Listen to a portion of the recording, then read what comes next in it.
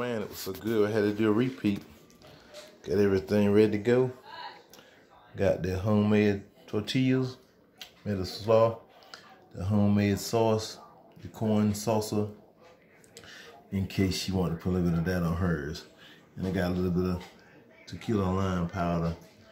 Got to uh my specialty, some good old deer piss.